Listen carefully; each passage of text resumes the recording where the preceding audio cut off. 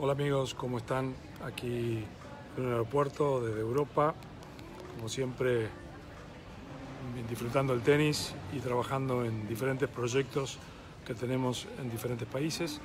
Eh, mucha gente, muchos entrenadores desde Argentina hasta Estados Unidos eh, me comentaron y hablaron con respecto al circuito de transición y este es el segundo video que estoy subiendo sobre ese tema porque hay mucha preocupación y hay gente que eh, no sabe para dónde va a ir el circuito y es bastante interesante capacitarnos y seguir adelante entendiendo eh, por dónde va a ir. Siempre he sido alguien que está de la mano del cambio, de la innovación, de la creatividad, pero me parece que este circuito tiene algunas serias implicancias para el destino del tenis, del tenis profesional y por lo cual es bastante importante hacer un seguimiento, debatirlo, tratar de estar cerca de las federaciones, de los clubes, de los profesionales, porque hay mucha gente en el ATP, en la ITF, jugadores que están preocupados y que no saben para dónde va. Eh, los que vieron el video anterior mío sabrán que en el circuito de transición el año que viene solamente los torneos de, ITF eh, eh, Future de 25.000 van a tener puntos para el ranking mundial. Solamente los torneos de 25.000 sin hospedaje van a tener tres puntos al campeón y un punto al finalista. Eh, los torneos con hospitality van a tener cinco puntos al campeón, tres puntos al, finalista y un punto a los semifinalistas, lo que significa prácticamente menos del 10% de los jugadores que hoy estaban ganando puntos van a ganar puntos el año que viene. En el 2020 no va a haber puntos para los torneos eh, Future de 15.000 y de 25.000 y la idea es fundamentalmente que el circuito, por eso se llama de transición, sea un circuito ITF sin puntos internacionales. Les recomiendo, para no explicar todo, ver el video anterior y averiguar. Pero por otro lado, hay unas de más novedades de las cuales es bastante interesante analizar lo que está ocurriendo porque supuestamente a partir del 2014 se iba a hacer estos cambios para beneficiar a los jugadores, eh, por un lado. Por otro lado, la ITF pretende reducir de 14.000 jugadores que están jugando, y cuando hablo de la ITF hablo junto con el ATP y junto con la WTA, reducir de 14.000 jugadores aproximadamente que están jugando en profesionales, que se reduzca a 3.000 jugadores, por lo cual es un cambio muy, muy drástico, ¿sí? pero a la vez hay algunos cambios más que han ocurrido en este, en este tiempo.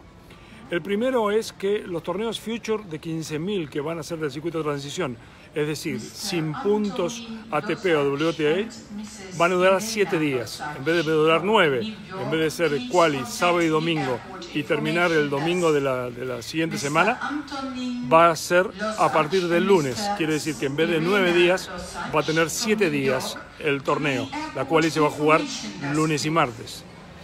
Lo segundo que es bastante importante es que no va a haber árbitros en los primeros dos partidos, en lo cual debería ser un crecimiento del circuito, ahora va a ser peor. Quiere decir que los primeros dos partidos, en función de la comunicación, que es ahorrarse dinero en arbitraje, ¿sí? se va a suspender en los dos primeros partidos que no haya árbitros. Lo segundo que también no va a haber es cambio de pelotas. Quiere decir que hoy el circuito de los que menos posibilidades tienen, de los que menos ganan, han, en algunos futures, casi la mayoría tenían eh, árbitros en primera y segunda rueda, no lo van a tener. No va a haber cambio de pelotas. Quiere decir que si te vas al tercer set y ganas 7-6 en el tercero, no va a haber.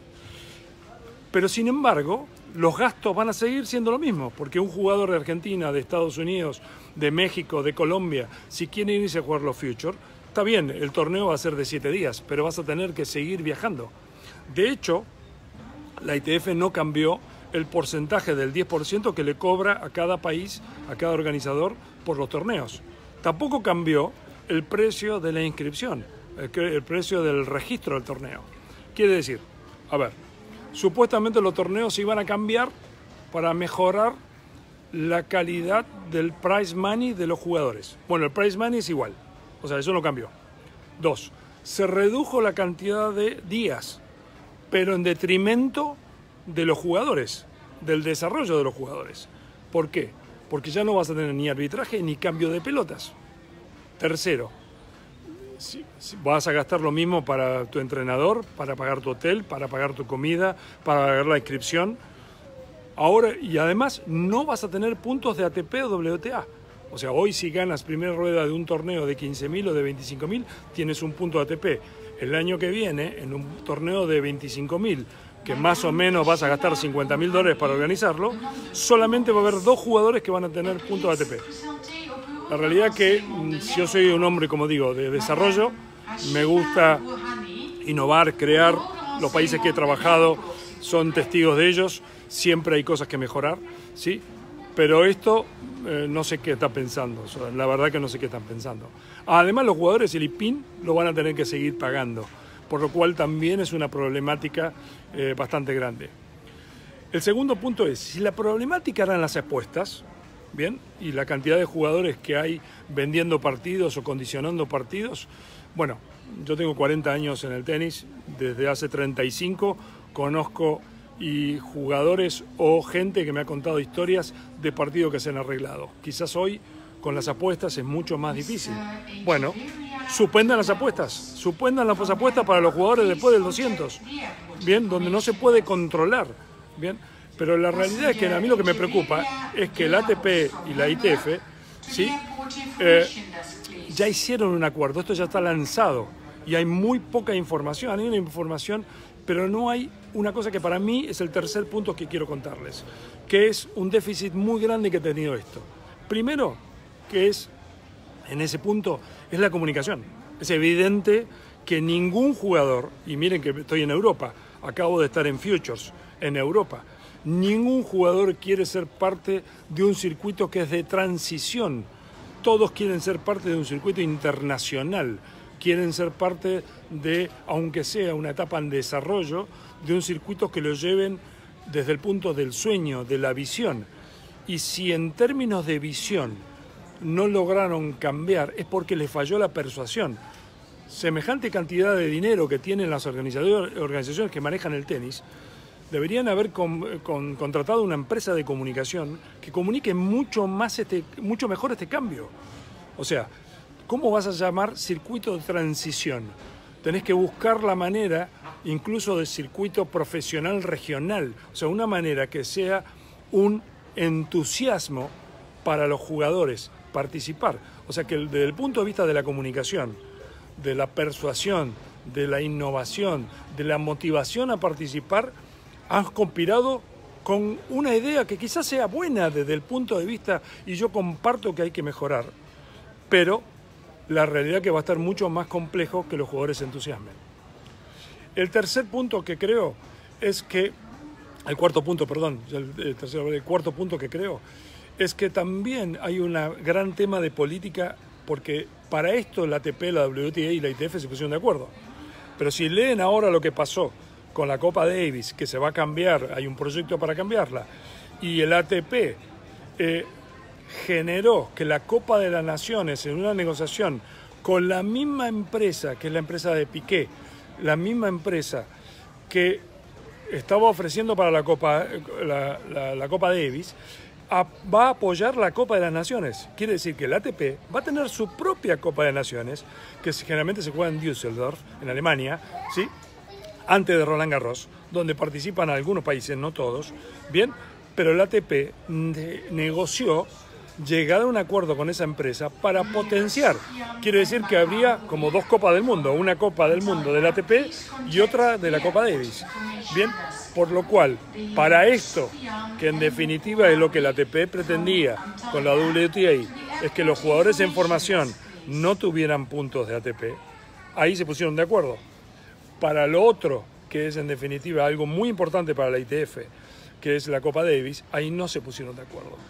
Como ustedes saben, eh, probablemente lo sepan, hay siete organismos que manejan el tenis. Hasta que no se pongan de acuerdo en el desarrollo de cómo debe ser, va a ser muy complicado, eh, sobre todo para este tipo de cambios, cambios de paradigma.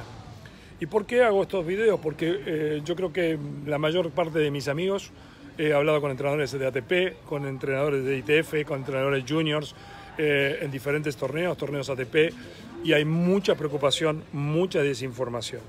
La realidad que cuando se cambia un paradigma, hoy es muy importante la capacitación y la comunicación, el estar encima de lo que está eh, ocurriendo en el día a día. Hay muchos amigos que están en contacto, les mando un fuerte abrazo y gracias por estar en contacto ahora en vivo ¿sí? en este video. Estoy del aeropuerto de Ámsterdam. Eh, hay mucha gente que está preocupada, por lo cual ahora se vienen los congresos regionales de la ITF. Eh, cada región tiene un congreso regional. Hay supervisores de la ITF.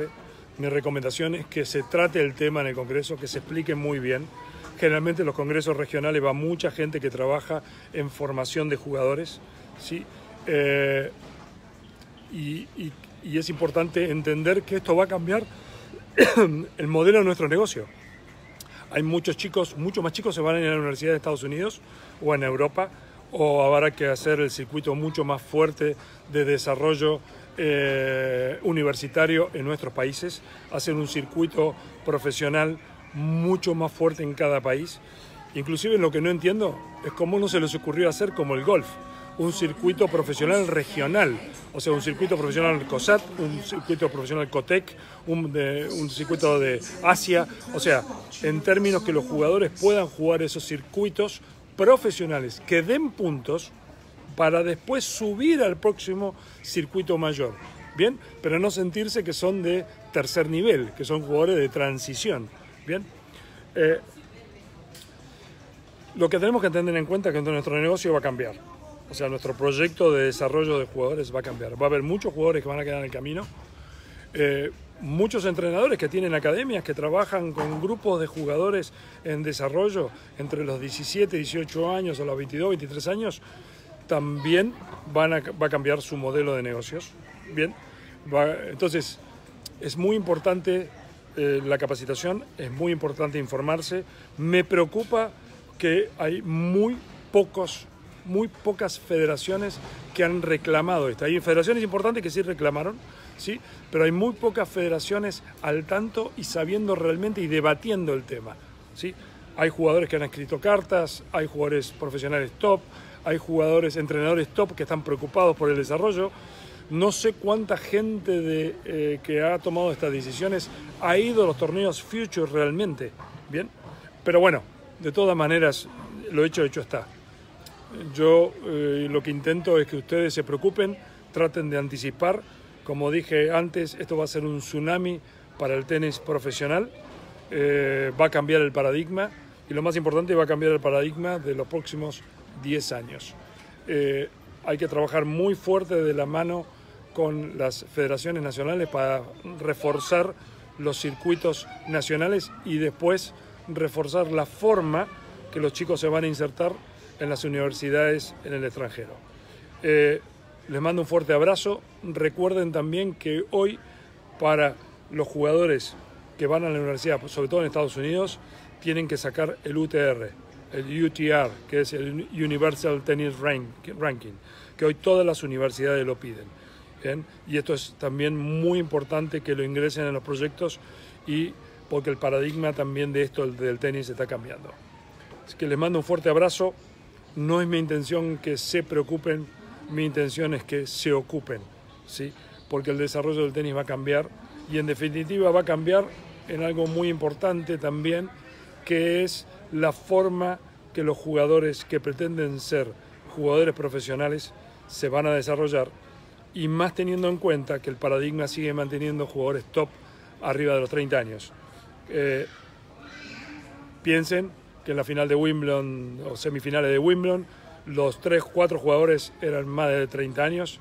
Celebro que Djokovic haya regresado, pero celebro también que un jugador como Anderson, que fue a la universidad en Estados Unidos y que era un jugador normal en términos de lo que muchos otros vieron como jugadores, ¿sí? haya llegado a una final de Wimbledon, haya tenido una performance con 32 años. ¿sí? Entonces, si bien que Eisner tiene más de 30, Rafa tiene más de 30, o sea, hay una tendencia donde se mantienen, donde hay nuevos jóvenes, pero también hay muchos jugadores de mucho más edad. Entonces el paradigma va a cambiar, necesitamos jugadores más completos, más preparados y nuestras regiones, que son más alejadas del foco central del tenis mundial, que hoy están en Europa van a sufrir este embate, este tsunami, pero seguramente con la creatividad de toda Latinoamérica, con la creatividad también de diferentes entrenadores de diferentes partes del mundo, ¿sí? se, se buscarán las soluciones. Les mando un fuerte abrazo, indaguen, investiguen, infórmense y prepárense para el gran cambio que se viene. Abrazo.